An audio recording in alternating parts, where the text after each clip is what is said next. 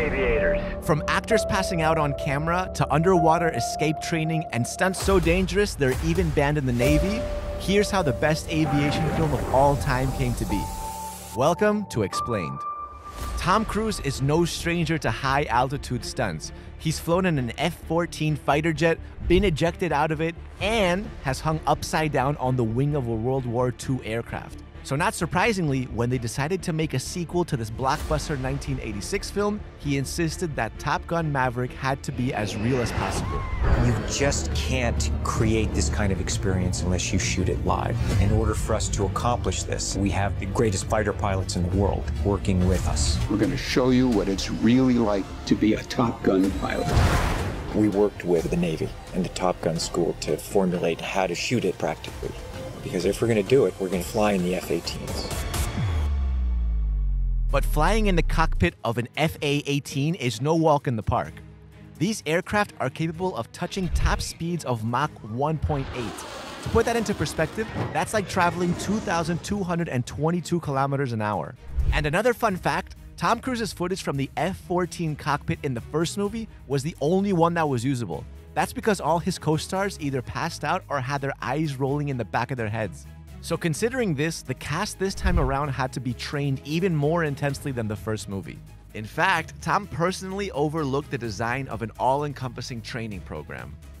The training that those guys all put in, the four and a half to five months of training that they put in, is necessary. You just can't pop up and uh, and show up and go Mach 3. They had to know what was coming up, or else, number one, it wouldn't look good. And number two, they could put themselves into danger.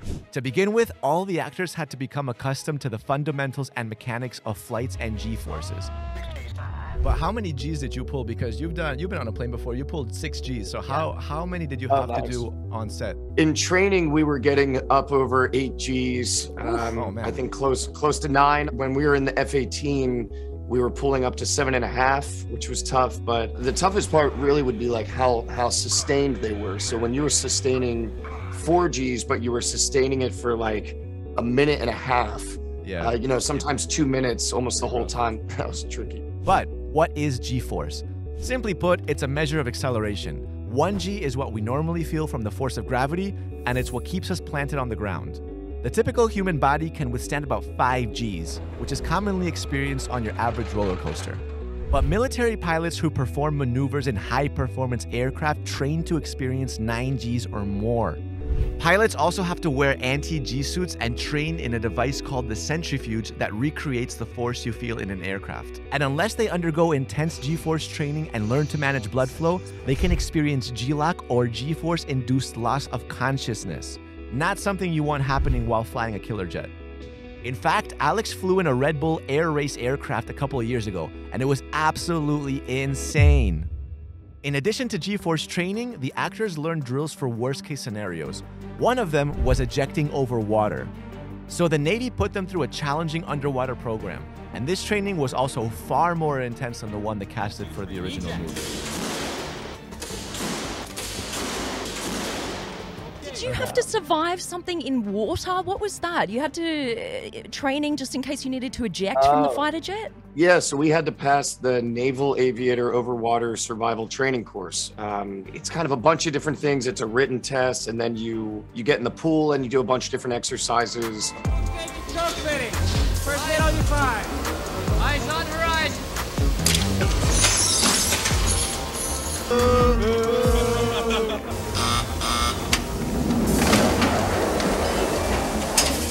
They took the uh, cockpit and shot it into the water, and then you have to escape out of that. And so they do stuff like hold you underwater for a while and, and then uh, see if you can float and, you know, fun stuff. But the worst thing is you do this exercise. It's called the dunker, and they strap you to a chair and they blindfold you, and then you're they start submerging this device in water. Um, so you're strapped to a chair, you're blindfolded, and now you're underwater, and then they flip you upside down very slowly. Once we got through that, I think we felt like we kind of earned our stripes a little bit, and that we were now worthy of of doing this flying. Then there's the whole physiology side of it, which was another day of, of training where we're put into a pressure chamber and taken up to 25,000 feet. Then you remove your oxygen mask to see what hypoxia is all about. Okay, now the low side of the chamber only. Reach up and hold the mask tight to your face with one hand. With the other, release one of your retention fittings, but keep the mask up to your face.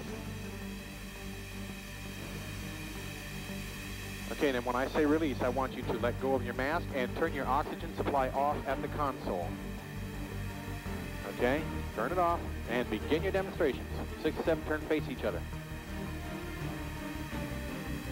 Okay, this is naval aviation, gentlemen.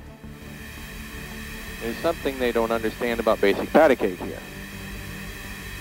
Remember, I don't want to see how long you can last. I want you to experience some of the symptoms of hypoxia and then take the corrective action.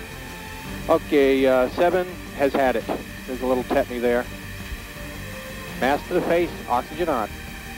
Once the actors' physical abilities were tested and pushed to the limits, they started flying in the actual aircraft. But they couldn't just jump to F 18s immediately, they had to be eased into them. First, they started out in single engine airplanes to build up their spatial awareness inside the aircraft.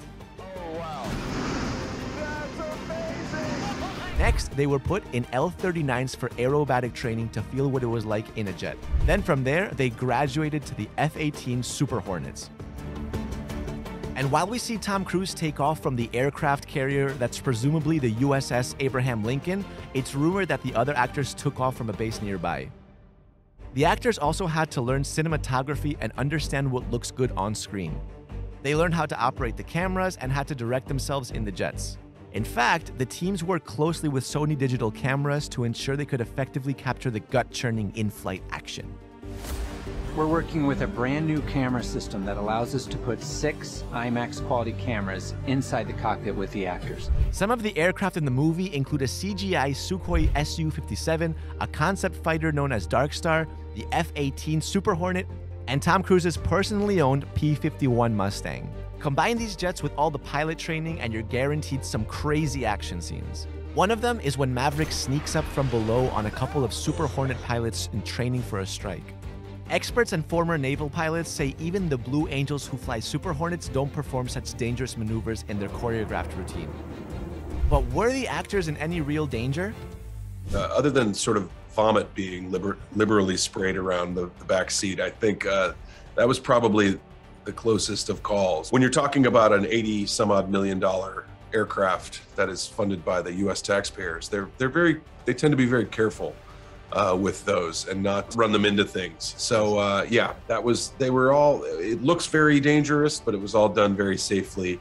So after all that high altitude, gut wrenching action, one thing is for certain: this movie will have you at the edge of your seat, and it's gonna inspire a new generation of Top Gun fans. Let us know what you think of the movie in the comments. Don't forget to like and subscribe. I'll see you guys next time.